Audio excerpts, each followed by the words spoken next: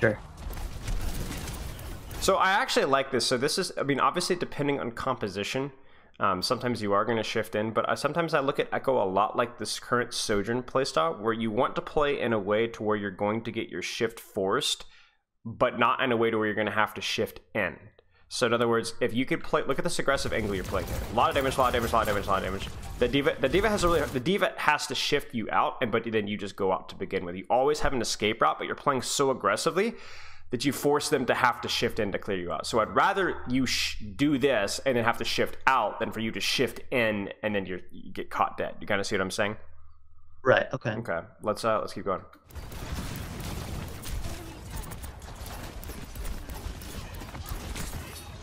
Uh okay, yeah, this is this is okay. Let, us let's let's look at this again. Is it okay to like ignore the? Because I know there's like fighting going on to my right here. I kind of feel like if I can, you know, just kind of bug their backline, they can't follow this diva as well. Yeah, but I don't I don't know if that's the right play here. I, I think it's okay, but but here's what I would consider. Let's let's, let's look at this from a macro perspective, okay? Because because that's something you're good at, right? You can zone backline a little bit here, but if I ask you right now, what what is that what can that Hanzo really shoot right now? And I think there's like, okay, there's RNG shots on backline, which obviously he can do. But I look at like who could provide more value in this initial trade right now. Not just the frontline trade, but just the trade period. This Hanzo slash Ana or you.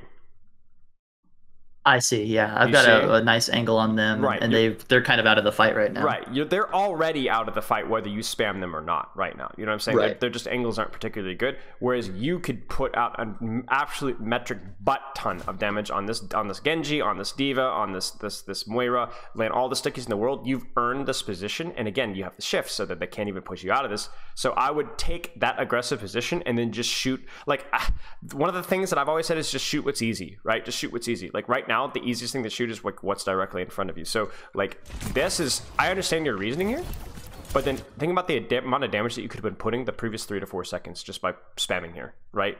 Sure. Okay. So much, so much more damage.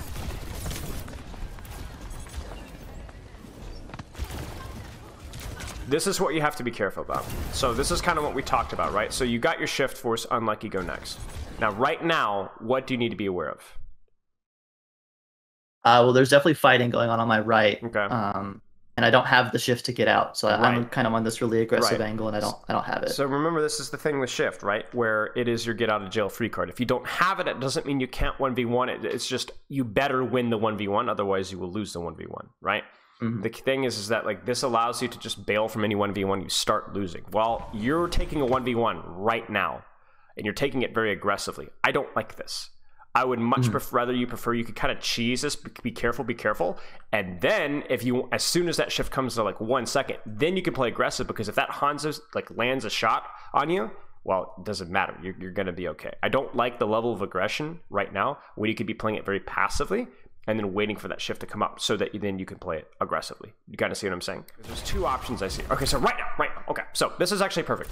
What's the problem with your positioning right now? It's not a good angle, right? Angle, angle, angle. Blah, blah, blah. But what's the problem? Um. Well, my team's not quite ready to fight. I don't think. Okay, yeah, that- that- not. that's true. That's true. But also look at this. Look at the soldier positioning. Look at the bat position. Look at the Moira positioning. You kind of see what I'm saying? Mm. Is it feasible or reasonable for you to be able to get a lot of pressure from this position right now? Not really. They're Right. at better ranges than, for themselves than I am. Right, exactly. So you really have to make a decision here. You've got two options. What are those two options? Uh, I guess it would be either shift in on somebody, even though I'm not really in shift range, but just try and get closer to try and get in my range, Mm-hmm. or, back off this angle and wait, kind of in main, and wait until Sure. my team moves in. Sure. So so this is exactly. So you either could basically exploit the mercy pocket and be like shift in, sticky, and just murder this guy, right? High risk, high hmm. reward, right? If you get this angle, you get the kill, great. Then then the fight's lost for them. It's over. They can't win. Or you can go, okay, that's more of an effective range. I can't do that, especially if you don't have a pocket, right? Then you would go to here. Now that doesn't feel amazing, but why might it not? It what? Why might it be okay? Look at the soldier's positioning again, right? What can he see from here?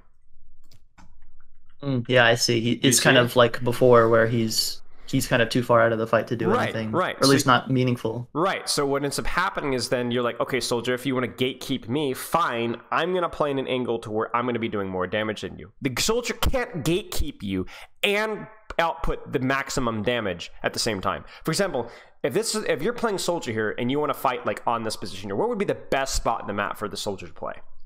If you had, if you go anywhere you want, where would you want to go? Um, I mean, where our red sojourn is is not Yeah, bad. exactly. He, he'd want to go right here. But what's the risk of going right here? well, he's opened up to, to me or anybody shooting right. him from you could you could immediately dive him, right? So then he has to he loses something by playing here.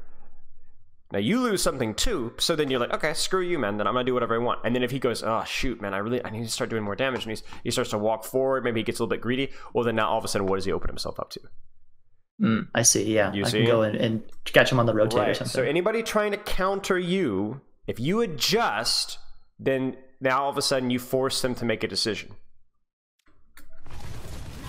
So like right now, you're going to do more damage than the soldier is.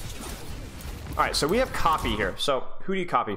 Who's who's the best copy target right now? um, I mean, immediate thoughts is Diva. Um, Mm-hmm. I don't really like Soldier or Genji. I don't think. Okay. Um, Okay. Fair enough. I think Diva's probably a, a decent low hanging fruit. I mean, generally tanks aren't always as good as they were in Overwatch 1, but if the tank Right. has like super, super powerful defensive cooldowns like Diva does, then it's probably fine.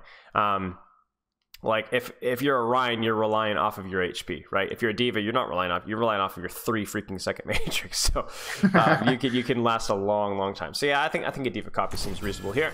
Um, if there's a well, go ahead. Well, I don't know if Ana or Moira are great. I, I know if I play like if I copy Moira here, I can get my ultimate quickly, but I don't know if that's like a fight-winning ultimate that I want to invest Right, right. duplicate into. Right. Ana could if you copied Ana here, what would you do with this Ana with this position right now?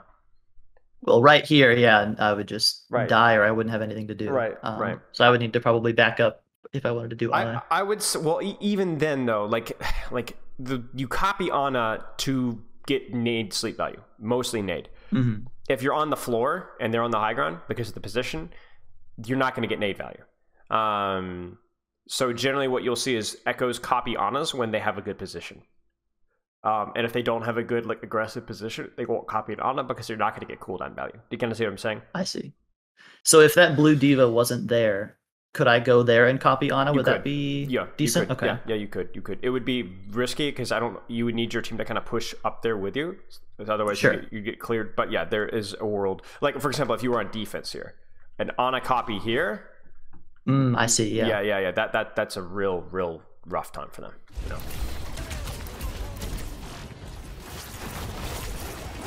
Yeah, I remember this one. Oh dear. Yeah.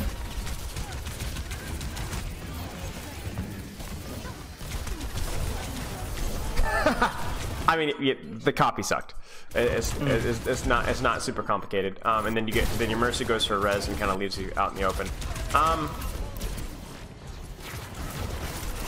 Situations like this has always kind of felt weird with Echo, where it's like there's there's definitely a fight happening, but there's nothing like like I could copy anybody on the enemy team, but then I just kind of become that person. You know, it's not like Yeah. a like a Reaper ultimate where I just I press Q and suddenly like I'm killing people or anything like Right, that. right. Well, well, then you also you also have to consider like it's not just about the copy itself providing value; it's the fact that it's the second life that provides value. So if like you kind of you you do it, you use it here, right? You do use it here. You are trying to go aggressive, um, and then you're like, oh, I'm not going to die because I press Q.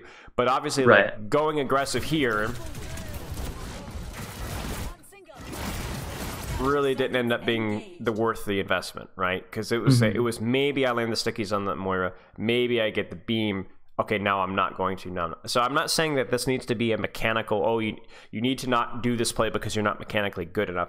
I'm not sure that even if you are a good Echo, that this was good. If this was like the most important thing, I think just simply LOSing the Moira ult and then force them to aggressively push onto you where you can get the copy that you want would have made more sense. Like for example, right now, like really, what is that Moira threatening right now? You know, mean, the only reason your Mercy's even in, in range is because you force her to be in range, right? Like look at the rest of your team's response. You know everybody's hiding, everybody's okay. You kind of just force aggression, and then that forces your copy, and then that forces a bad copy, and then it forces a fight loss. So just, I see, yeah. Just just unless you're in a great position for it, you don't need to do it. Like the D, do you see what would have happened if you not gone for the Moira?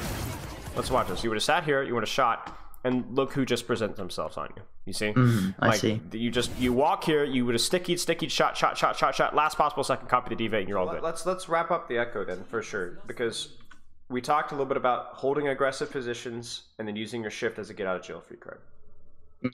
We talked a little bit about obviously the mechanics need to be cleaner as well. It's something to practice as well. That's the best coaching advice I have for you. Practice your mechanics. Ha ha ha. Okay. But the other thing was as well is if you feel like you are being people are holding angles that are preventing you from playing the positions that you want. You need to recognize that oftentimes those positions are compromising their damage output too. So then you adjust, force them to either stay in that crappy position or push up. If they push up, now they're diveable. You kind of see what I'm saying? Um, I see. Okay. Make them play that back and forth seesaw game, and as long as you're anticipating it, you should be good to go. The last little thing we talked about, like we talked about a little bit, I think we never really got to narrow it down, sadly, but was that ultimate. You know, use it as a get out of jail free card, but don't force stupid aggression just because you have it. Play smart, play smart aggressive, and then get the copy that you want as necessary. Make sense? Mhm. Okay. Let's. So with with duplicate, then would it be would it be worth it to kind of use it as sort of like an entry ultimate, I guess, or it's just like Um, instead of something like a mid fight? Because it, it feels like you know I use it and then I just sort of you know if I'm not using it as a second life, I just kind of feel like I just turn into another character. You know. Yeah, well then, well then Um, look at the battlefield and be like, what would be the best character to have in this situation, right? We talked a lot about how like if I were you on defense and I had Echo copy, if the enemy team has an Ana and I'm set up here, man, I might even rather have an Ana over an Echo for this position here because I'm gonna farm that nano. I see. Man, I'm gonna farm that nano super fast. I know I'm gonna get an impactful nade. You know what I'm saying? So then I might just prior. I might not even use it as a get out jail free card. I might just use the cooldown. Or for example, if the enemy team had a Sigma here.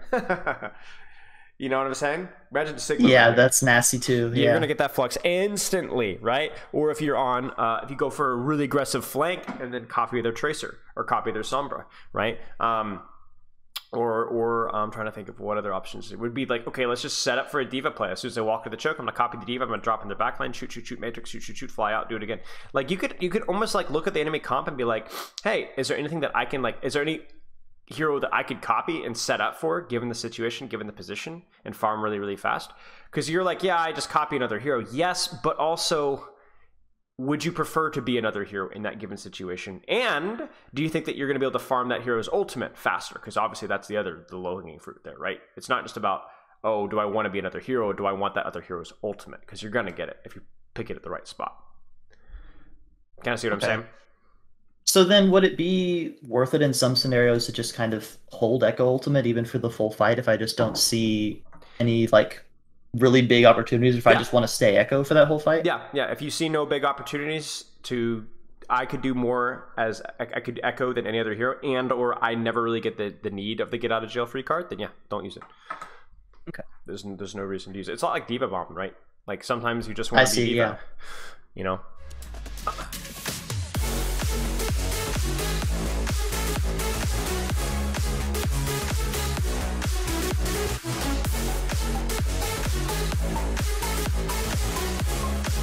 We'll be right back.